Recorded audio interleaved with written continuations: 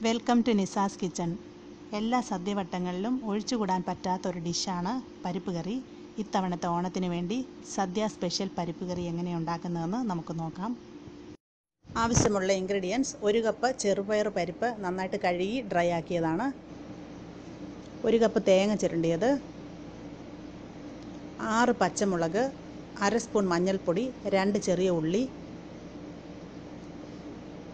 കുറച്ച് കറിവേപ്പില അര സ്പൂൺ ജീരകം ആവശ്യത്തിന് ഉപ്പ് രണ്ട് സ്പൂൺ നെയ്യ് കുറച്ച് വെളിച്ചെണ്ണ. ഇനി പ്രിപ്പറേഷൻ നോക്കാം. ഒരു പാൻ അടുപ്പിൽ വെച്ചിട്ടുണ്ട്. ഇതിലേക്ക് രണ്ട് സ്പൂൺ നെയ്യ് ചേർക്കാം.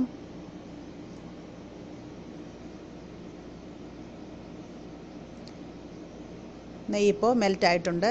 ഇതിലേക്ക് നമുക്ക് കഴുകി വെച്ചിരിക്കുന്ന ചെറുപയർ പരിപ്പ് ചേർക്കാം. നമുക്കിതൊന്ന് ചൂടാക്കിയെടുക്കണം. നെയ്യുടെ ടേസ്റ്റ് ഇഷ്ടമില്ലെങ്കിൽ നെയ്ക്ക് പകരം രണ്ട് സ്പൂൺ വെളിച്ചെണ്ണയോ ഓയിലോ ഒഴിച്ച് ചൂടാക്കിയാൽ മതി. ഇപ്പോൾ ചെറുപയർ പരിപ്പ് നന്നായിട്ട് ചൂടായിട്ടുണ്ട്. നമുക്കിനി ഇത് വേവിച്ചെടുക്കാം.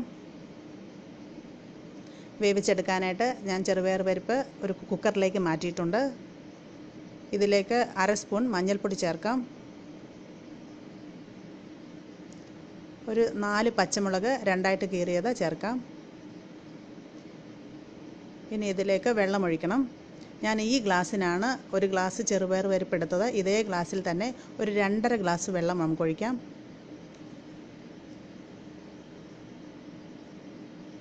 ഇനി ഇതിലേക്ക് ആവശ്യത്തിന് ഉപ്പ് ചേർക്കണം.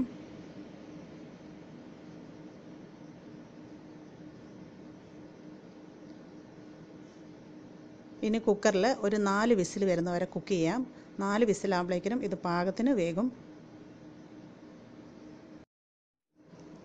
ചെറുപയർ പരിപ്പ് ഇപ്പം നന്നായിട്ട് വെന്തിട്ടുണ്ട്. ഇത് വെന്തതിന് ശേഷം കട്ടിയുള്ള ഒരു തവി കൊണ്ട് ഇത് നന്നായിട്ടൊന്ന് ഉടച്ചെടുക്കണം. ഞാനിപ്പോൾ അങ്ങനെ ഉടച്ചെടുത്തിരിക്കുന്നതാണ്. ഇനിയും നമുക്ക് തേങ്ങ നന്നായിട്ട് അരച്ചെടുക്കാം. അതിനായിട്ട് തേങ്ങ ഞാനൊരു മിക്സിയുടെ ജാറിലേക്ക് ഇട്ടിട്ടുണ്ട്. അതിലേക്ക് അര സ്പൂൺ ജീരകം രണ്ട് പച്ചമുളക് അരിഞ്ഞത് രണ്ട് ചെറിയ ഉള്ളി ചേർത്തിട്ടുണ്ട്. ഇതിലേക്ക് അര ഗ്ലാസ് വെള്ളം കൂടെ ഒഴിച്ച് നമുക്ക് നന്നായിട്ടൊന്ന് അരച്ചെടുക്കാം. ഞാനിപ്പോൾ തേങ്ങ നല്ല മയത്തിൽ പേസ്റ്റ് പോലെ അരച്ചെടുത്തിട്ടുണ്ട്.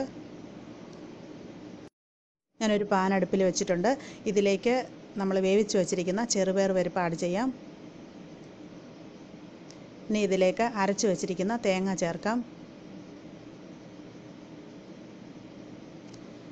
നിങ്ങൾക്ക് നല്ല കട്ടി ചെറുപയർ പരിപ്പ് കറിയാണ് വേണ്ടതെങ്കിൽ ഇതിലേക്ക് പ്രത്യേകമായിട്ട് വെള്ളം ഒഴിക്കേണ്ട ആവശ്യമില്ല. ഞാനിപ്പോൾ ഇതിലേക്ക് ഒരു അര ഗ്ലാസ് ചൂടുവെള്ളം ചേർക്കുകയാണ്. കുറച്ച് കറി കുറച്ച് ലൂസായിട്ട് കിട്ടാനായിട്ട് നമ്മൾ കറിയിലേക്ക് രണ്ടാമത് വെള്ളം ഒഴിക്കുമ്പോൾ എപ്പോഴും ചൂടുവെള്ളം ഒഴിക്കുന്നതാണ് കറിയുടെ ടേസ്റ്റിന് നല്ലത്. ഒരു അര ഗ്ലാസ് ചൂടുവെള്ളം ഒഴിക്കാം. പിന്നെ ഇത് നന്നായിട്ടൊന്ന് ഇളക്കി യോജിപ്പിക്കണം. സമയം മീഡിയം ഫ്ലെയിം മതി നമുക്ക്.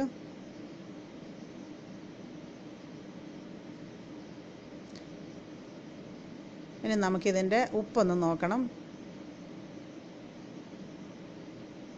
ഇതിപ്പോൾ ഉപ്പ് കുറച്ച് കുറവാണ്. ഞാനതിലേക്ക് കുറച്ച് ഉപ്പും കൂടെ ചേർക്കുന്നു.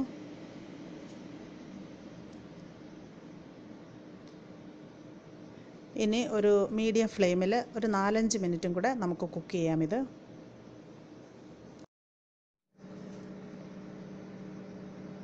ഇപ്പം നമ്മുടെ കറി നന്നായിട്ട് കുറുകി വന്നിട്ടുണ്ട്. ഇനി നമുക്കിതിലേക്ക് കുറച്ച് പച്ച വെളിച്ചെണ്ണ ഒഴിച്ചു കൊടുക്കാം. നെയ്യാണ് ഇഷ്ടമെന്നുണ്ടെങ്കിൽ നെയ്യ് ഒഴിച്ചാലും മതി. കുറച്ച് കറിവേപ്പില ഇട്ട് കൊടുക്കാം.